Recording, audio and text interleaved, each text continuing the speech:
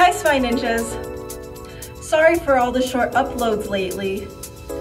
There has been something weird going on with our electronics.